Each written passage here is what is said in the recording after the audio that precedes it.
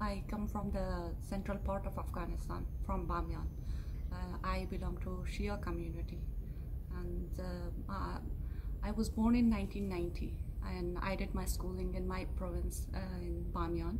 It was a very tough time. That time, it was the time that Ta- uh, Taliban had the control of Afghanistan, and the school for girls was closed. But after the uh, Taliban regime, the schools reopened for the girls, and I joined the school. It was a very happy time. I could uh, complete my school in 2005, and then uh, I joined at Bamyan University. I did my bachelor in biology from Bamyan University, and I got a scholarship and did my masters in the field of biotechnology from India, and I completed it in year 2017. Then I be- went back to Afghanistan and I worked for over two years, uh, a project funded with the World Bank.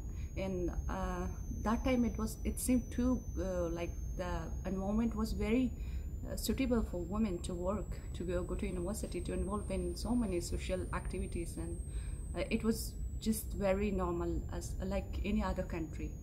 Uh, so I was so excited. I uh, wanted to pursue my higher studies and teach at the university in Kabul. So for that, I applied for uh, PhD scholarship, and I got an opportunity to uh, get PhD uh, scholarship. Then I joined in year 2019 at the National Forensic Sciences University in India, and I uh, completed my PhD in year 2021. Then, unfortunately, uh, Taliban came back for the second time, and uh, everything just like uh, got ruined. The life of women. It was the time that my dream uh, like got ruined by them. I could not go back to Afghanistan. I am an optimistic person. At the moment, there is no hope. This government, there is no hope with this government, but I hope that this will end soon or later. And I hope that my country's situation come back to normal and we again start our new uh, in normal life.